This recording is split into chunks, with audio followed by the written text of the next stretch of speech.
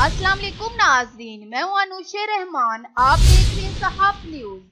कौमी women cricket team Allama Iqbal international airport पहुँच गई।